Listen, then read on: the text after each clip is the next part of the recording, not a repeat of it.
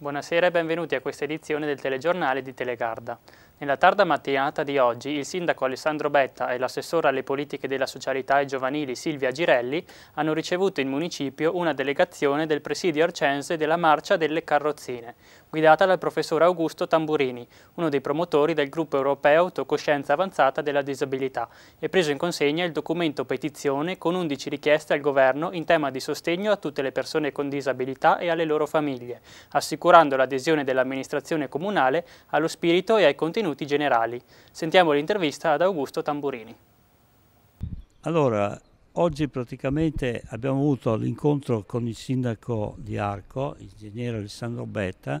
dove abbiamo esposto le eh, problematiche della disabilità italiana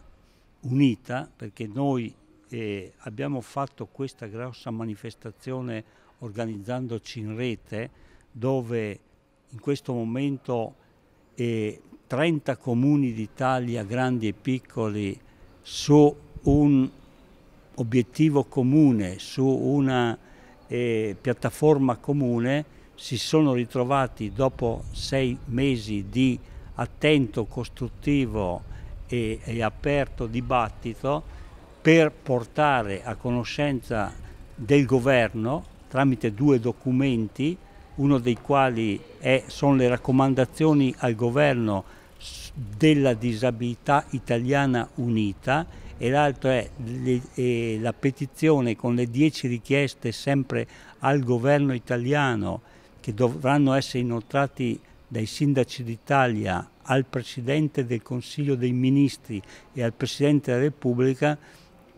dove mh, abbiamo individuato molte richieste da attuare per portare la disabilità italiana fuori da eh, quel dimenticatoio, quella riserva indiana in cui si trova, perché la disabilità oggi in una società evoluta e civile chiede con forza di poter partecipare in tutti i modi alla vita sociale.